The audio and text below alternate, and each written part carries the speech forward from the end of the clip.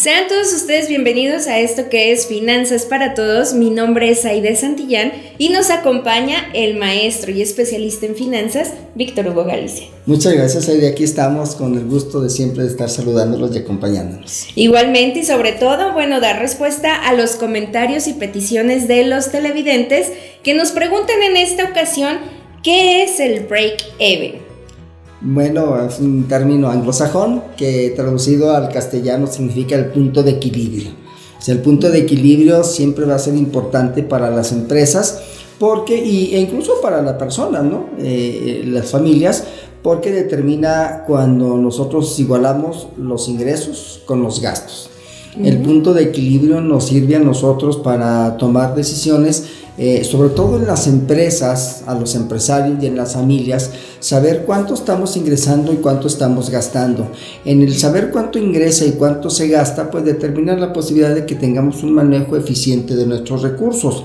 Las empresas es una parte importante, sobre todo cuando nosotros mm, producimos, eh, qué es lo que produce, cuánto nos cuesta producir, dónde alcanzamos el punto de equilibrio en esa producción, el costo de la producción y el precio de venta. En el caso de las, de las empresas o de los empresarios. En el caso de las familias, el punto de equilibrio pues significa o representa la posibilidad de no sobrepasarnos en nuestros gastos dependiendo de los ingresos que nosotros tenemos y cómo estamos destinando nuestros recursos específicos pues a la utilización o a la satisfacción de las necesidades o a cubrir los gastos específicos. Entonces, en términos eh, coloquiales, es el punto de equilibrio donde se cruzan los ingresos con los gastos. Y es muy importante porque esto nos representa finanzas sanas y que podamos dispersar de manera adecuada lo que son los ingresos que estamos teniendo y pues esto también nos permite tener un ahorro que para situaciones de emergencia nos puede ser de gran utilidad o simplemente para inversión. Justamente alcanzar el punto de equilibrio, por ejemplo, en una familia, en una persona e incluso en las empresas, determina la posibilidad de que se tenga un manejo adecuado del recurso que representa las finanzas sanas. Las finanzas sanas que permiten, bueno, permiten primero que haya un ahorro, segundo que haya un manejo eficiente del recurso y tercero la posibilidad de invertir, que es una parte también muy importante. Muchas personas no saben invertir, muchas empresas lo hacen, pero a lo mejor no lo hacen de manera adecuada. Y bueno, cuando logramos ese punto de, de, equilibrio y tenemos además ese remanente que nos puede servir para otras cosas, indudablemente que se maneja de una manera muy efectiva y permite justamente incrementar el patrimonio o la riqueza en el caso de las empresas.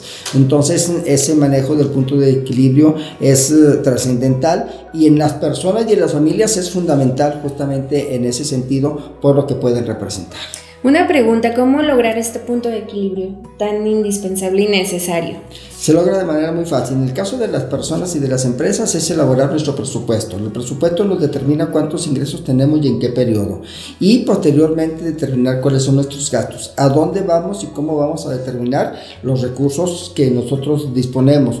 Con la finalidad de que, de que no tengamos más adelante una, un contratiempo que nos obligue a endeudarnos o bien a no cumplir con ciertos compromisos. Entonces el punto de equilibrio se logra cuando nosotros sabemos elaborar un presupuesto y cuando nosotros sabemos cortar justamente la parte fundamental de nuestros gastos. Pues muchísimas gracias por todos estos consejos y sobre todo por resolver las dudas de nuestros televidentes. Que recuerde la, la la liga de los comentarios está aquí en pantalla para que usted pueda llevar a cabo sus preguntas, sus comentarios y sobre todo sus aportaciones. Muchísimas gracias por estar aquí con nosotros en esto que es Finanzas Sanas.